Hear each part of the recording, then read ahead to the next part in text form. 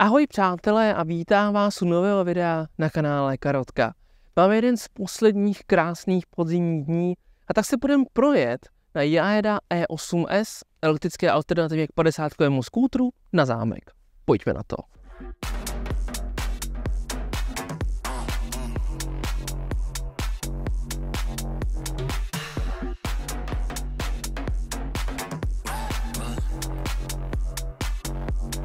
Parametry tohoto skútru jsou velmi jednoduché. Za prvé, v zadní kole se nachází motor s výkonem 3000 W, který je schopný rekuperovat elektrickou energii zpátky do baterie. Ta má napětí 72 V a kapacitu velice slušných 38 Ah. Tenhle skútr je samozřejmě omezený na 45 za hodinu, potřebujete na ní řidičský průkaz typu AM či B a my, my vyrážíme.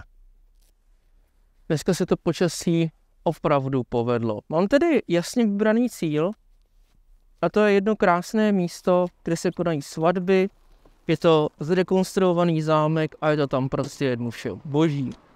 Takže myslím si, že když mám elektrický skútr, se kterým nemusím používat nohy a má velmi dobrý odpich, wow, tak to vezmeme hezky prudce do kopečka. Takže jedem, blinker, koupím do zrcátka, něco rekuperujem a síc kopcům. Vzhledem k tomu, že mě hodně zajímá rekuperace, tak dobrý je, že dneska pojedeme opravdu hodně z kopce a potom opravdu hodně do kopce. Ale ještě předtím potřebujeme jet hodně do kopce. Musím říct, že venku už ty teploty padají docela jako nepříjemně dolů. A proto už jako jezdím fakt jako v rukavicích, Mám teda motorkářskou helmu Vito Buzerant, nebo jak se jmenuje. A k tomu mám i nově kuklu, protože ono sice jako ta helma se dá zavřít, ale stejně to není úplně příjemné. Tady jsem chtěl říct, že ta motorka, ten scooter teda krásně drží rychlost do kopce 35, 36. To je za mě osobně úplně super. Eh, hele, tady ten... Můžu? Jo! Oni to stejně levnický služby, tam budou to dělat znova, takže to nevadí, že jsem jim to projel. Ale bylo to teda, jako musím říct, velmi uspokojující. To bude drc. Wow. Dobře, uh, chtěl jsem si stoupnout tak jako na kole, kde člověk jakoby eliminuje tu ránu do zadku. Nebyl to dobrý nápad, ten skútr tomu není vůbec dělaný, aby se na tom stálo. Ten, uh, ta plocha na ty nohy totiž uměrně dosti klouže, což může být daný tím, že mám uh, svý starý boty, který používám jako na zahradě, vůbec jsem si je dneska vzal. Jsou hnusní, jsou to Nike a to není jako, že Nike rovná se hnusní, zkusíme to vzít trošičku takhle jako au. Ale i přesto, že au, tak to bylo asi lepší, než jsem čekal. Tady musím říct, že platí stejná věc jako pro té dvojku, že ten uh, předek pruží jako fakticky příjemně, ten odpich je dobrý, to fakt jako příjemně. Ale ten zadek by mohl být o něco malinkato měkčí. Je to zkrátka jednoduše takové o něco tuší, než bych si představoval. A to je prostě realita, no. S tím se asi nedá bohužel nic jako dělat vyloženě. A musíme se s tím tak nějak, řekněme, smířit. Takovou díru trefíme? Pohoda. Pohoda, lahoda. Ono samozřejmě vám to jako úplně nevykre jako v nějakým luxusním autě, což já se nemám, takže nevím, jaký to je luxusním autě. Ale myslím si, že ten komfort je tady velkou jako výhodou i oproti koloběžkám. Zkrátka jednoduše velká kola. Navíc značky Kenda, ty pneumatiky, to mě hodně příjemně překvapilo, že to jsou Kendy. Takže určitě to bude jakože kvalitka. A to pružení, samozřejmě, mohlo by být měkčí, ale rozhodně to není nějaký sportovní pružení. Ono se to hrozně blbě nějakým způsobem porovnává, protože pružení koloběžek se samozřejmě chová úplně jinak než pružení na skútru. A tím pádem to pružení není úplně jako moc objektivní, takhle řekněme srovnávat. Tak, přicházíme na sjezd hezky dolů z kopce. Tady zase přichází jiná věc, kterou jsem říkal u té dvojky, a to je to, že zkrátka jednoduše ten skútr má omezovač na 45 za hodinu. Takže já když jedu takhle po okresce a jezdí tady auta, tak každý, kdo tady pojede, tak ho s tím budu s tím vysírat. Reálně to tedy znamená, že vlastně v tuhle chvíli jsem stejný otrava jako koloběžka, kolo, uh, ne, nevím, Sound. Stejně otravné, no Ike Sound víc překáže, že jo. stejně otravuju na té jako zmíněné věci. Takže z mýho pohledu jako jezdit se skútrem, co má omezovat na 45 za hodinu uh, po okreskách, moc to jako není. Takový to jako jsem v vesnice a zajedu si vedle prostě do vesnice ke kámošovi, ukázat mu, co jsem pochytal za Pokémony. OK, asi cájek to jediný, co budu zdržovat, bude traktor a ten budu zdržovat, ten bude zdržovat mě, že jo. Ale jinak uh, to k tomu podle mě úplně moc nebude. Třeba to něco málo rekuperovat, tady celá schopečka. Ale pade tam mal. Je hrozný, jak se na těch 45 nebo 47 už jako nepřidává ten plyn.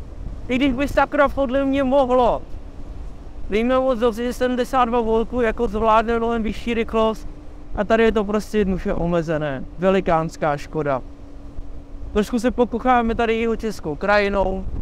Je to tu velmi nádherné. V skutku, že? A pokračujeme. Na uh, jade E8S název úplně strašný. Musím velice pochválit všeobecně komfort té jízdy. Sedlo je naprostá paráda. To je jako fakticky, je platí to samé jako u té dvojky. To je prostě gaučík na kolečkách a je velmi pohodlné. Tomu všemu řídítka jsou malinko, bych řekl, širší než na té dvojce a mám trošičku více místa. Tím pádem, pokud jste většího zrůstu, tak já jsem o té dvojky říkal dvoumetrový lidi ne. Tady bych se asi nebál to úplně jako doporučit. Asi úplně řekněme jako na klid. Tak, a jsme v našem cíli. Blížíme se k zámečku. Není to to vlevo, to je naprosto děsivá budova, ve které se pravděpodobně skladují vysklí zombíci. Co jiného by se tam asi dávali, že jo? Každopádně, co se mně líbí na jadeách, a to platí pro obě, je hlavně to, že jsou schopni fakticky tu rychlost na 40 držet, jak se říká, jako kopec, nekopec. Tím pádem, když pominu to uh, zákonné omezení na těch 45, tak víc vlastně nebudete jakoby otravovat lidi okolo sebe nějakou, nějakým jako zdržováním. Což je za mě osobně jako fajn. Jo.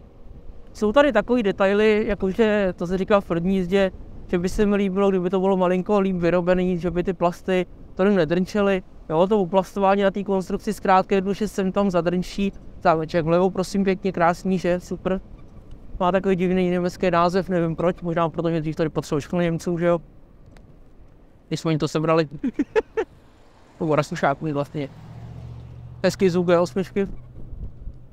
Ale líbilo by se mi, kdyby tady třeba byl ukazatel nejen kolik jsem narekuperoval, ale i kolik vlastně uh, na tom skútru samotným zvládnu, nebo kolik vlastně vybiju.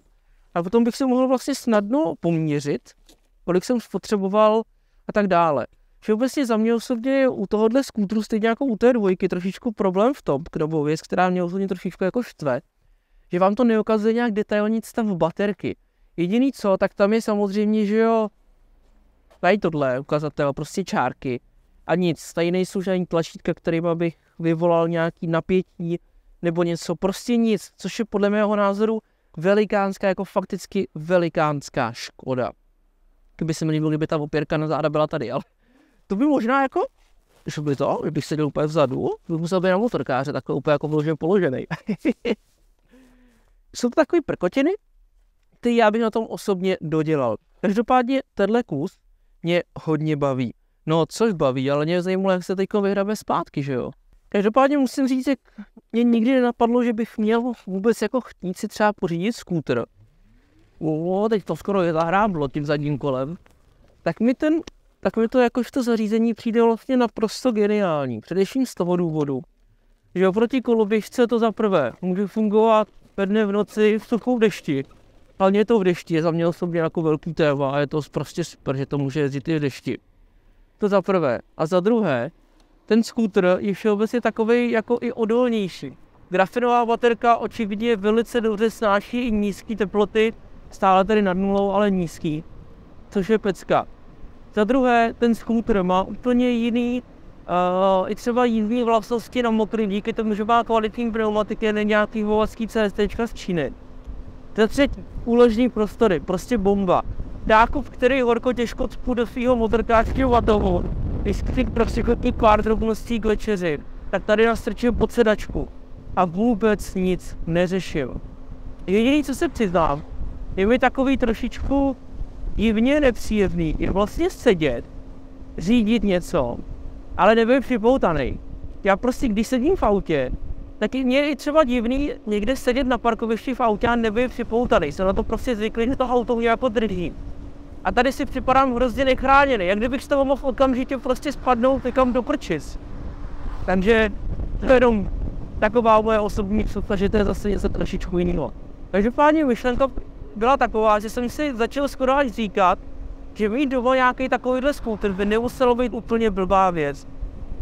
Protože jsou prostě momenty, kdy člověk potřebuje někam zaskočit, zajet, vyzvednout si zásenku do Alzaboxu, ale na to, abych to dával na koloběh, je to velký, i když už jsem teda vedle si půl metrových stropí světlo na koloběžce, jo. ale zase jako nechce se dát do auta a startovat prostě ten benzínový motor kvůli pár kilometrů. Skočím prostě na elektrický skútr, který jezdí takřka zadarmo a je to vyřešený. Já vím, že spoustu vlastně tohohle z toho vládne obsloužit i benzínový skútr. No prostě bez debat. Reálně jízdně to bude plus minus to samý až na dva rozdíly.